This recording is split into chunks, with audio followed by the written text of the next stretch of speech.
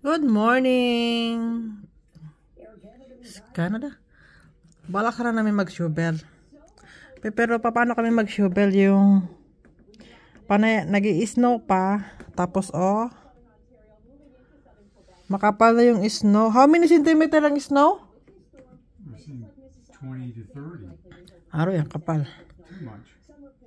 20 to 30. Tinan mo yung ano, hindi ah, pintuan namin.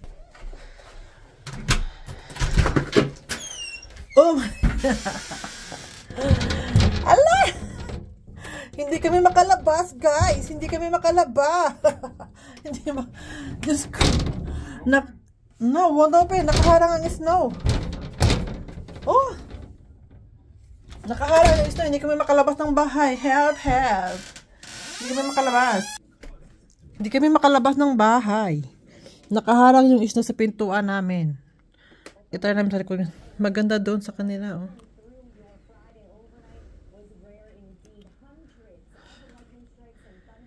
Hey. Ang mga kapitbahay namin kulong.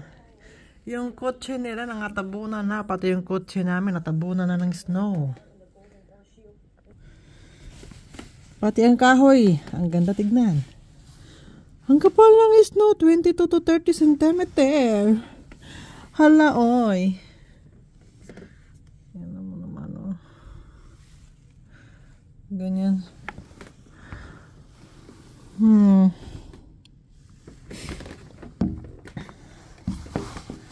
Mamaya pa kami mag-shovel. Ini. Ang ganda tignan ng kahoy. Wala, yung mga kapitbahay namin hindi hindi lumabas. Wala pang flow truck. Diyos ko ang isno. Sarap mag sarap lumangoy. Hmm. Diyos me. Ang kapal ng snow sa kahoy, oh. Ang kapal. Oh my gosh, ang kapal ng snow. Anong magagawa namin? Wala akong nakitang nag-shovel. Nakapit bahay namin. Ay, sana summer na para walang ganito. Diyos ko.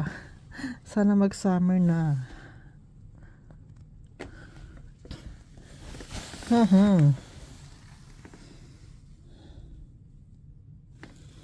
Pa-picture.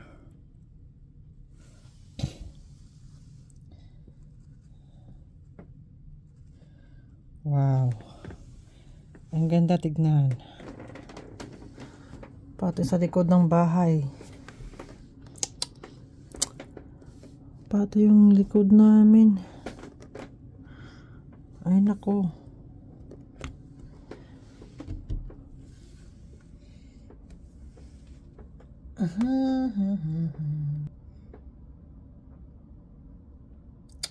Iwan na lang.